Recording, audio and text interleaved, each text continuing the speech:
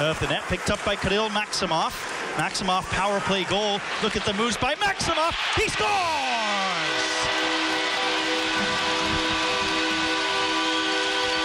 A dazzling move